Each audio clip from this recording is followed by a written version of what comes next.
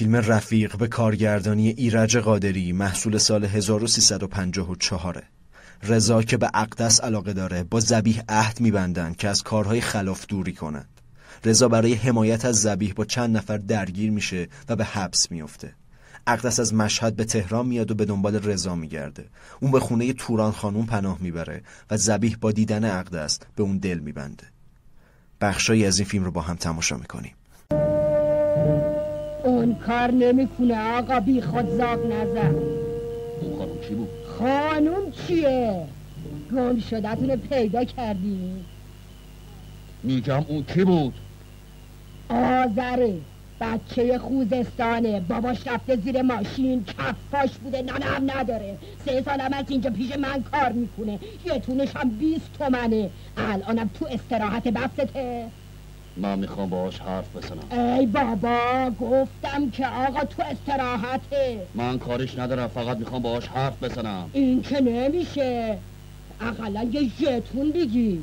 جتون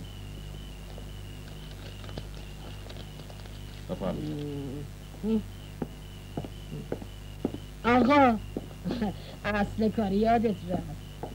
بیا. بیا. بالا اتاق چارو. بله. چه حالیوهایی پیدا میشن واسه دو کلو بیست تومن می‌برد بیا.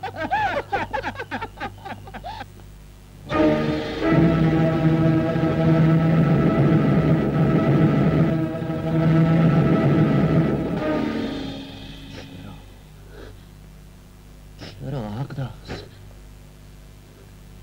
چرا اینجا؟ من من من من من چی چی می‌خوای بگی؟ می‌خوای بگی اینجا قله نیست؟ می‌خوای بگی اینجا خونه توران نیست؟ می‌خوای بگی من دارم خواب می‌بینم تو اقدس نیستی؟ چرا حرف نمی‌زنی؟ بگو. بگو. بگو اون اقدس پاک و تمیز. اون اقدس محروم مرد.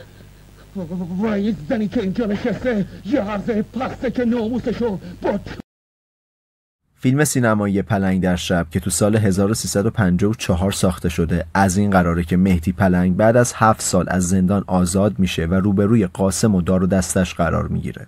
قاسم و افرادش برای کشتن مهدی نقشه می‌کشن و بعد از عدم موفقیت مریم دختر محبوب مهدی رو میدزدن.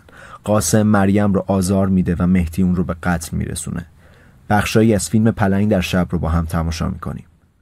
چیزی که من دیدم تو هم ببینی برای همیشه اسم میتی یادت میره. اون الان با یه زنی. زده به سرت مادر.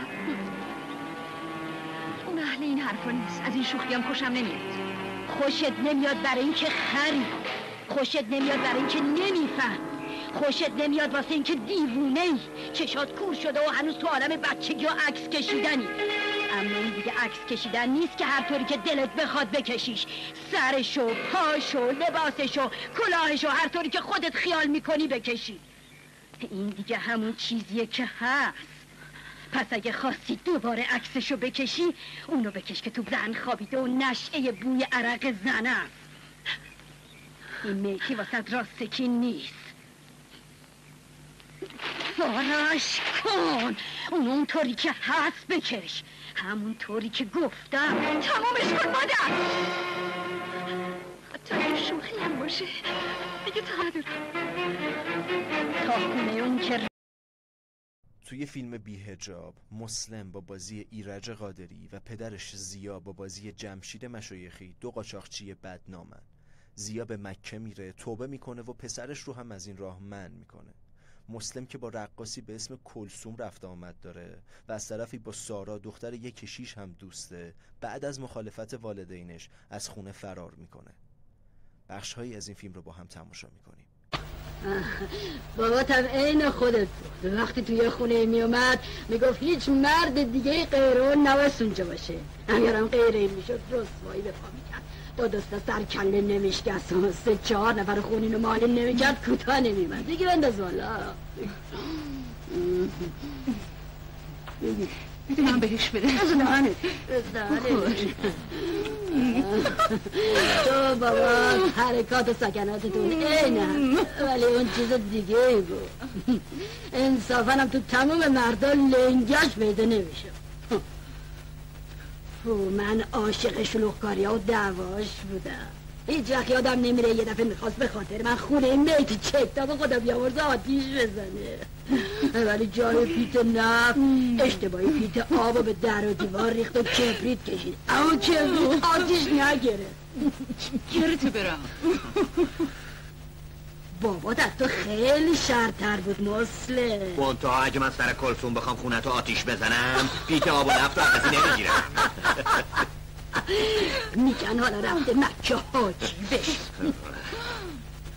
آره شنیدم امروزم برگشته. میگن هیچکی استقبالش نرفته. حقم دارد. زیاد اگه شب قمرم بکنه باز یک کاسه زیر نیم کاسه یعنی تو میگی کارهای سابقشو ول می‌کنه بنده. فیلم سینمایی هریس که تو سال 1352 ساخته شده از این قراره که چنگیز شکارچی شروریه که به دختران آبادی آزار میرسونه. طی ماجراهایی از مرجان و گلی حد که حرمت می‌کنه. گلی چنگیز رو به صحرا میکشونه و اون رو می‌کشه. مرجان به عنوان قاتل دستگیر میشه و گلی هم قصد خودکشی داره. اما برادر همزاد چنگیز که وکیل گلی رو نجات میده. بخشایی از فیلم هریس رو با هم تماشا می‌کنیم. بی خدا من نکشتمش. ناراحت نباش دخترم. بلند شو جیپا حاضر کن. اطاعت. باور کنین من نکشتمش. بی خدا من نکشتم. خیلی خوب خیلی خوب دخترین تو دادگاه حقیقت معلوم میشه. یه نکن دخترم. خدایا خودت کمک کن. خدا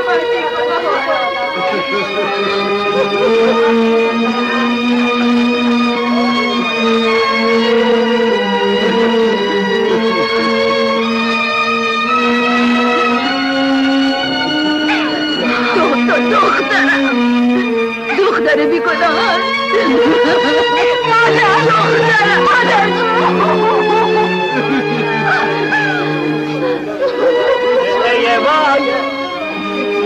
وای وای تو رو خدا رحم نبرینش دختر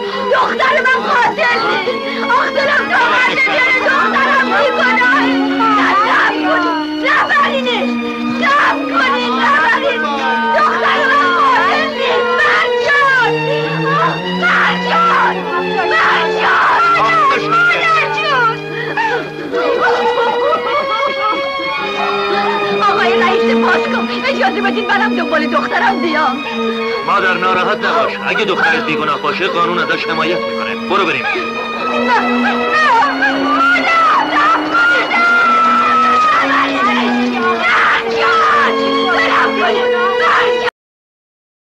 فیلم سینمایی غزل به کارگردانی مسعود کیمیایی محصول سال 1355 دو برادر به نام حجت و زین العابدین قرقبان جنگلن و تو تنهایی زندگی می‌کنن اونا متوجه میشن که چند نفر مخفیانه درختای جنگل رو قطع می‌کنن.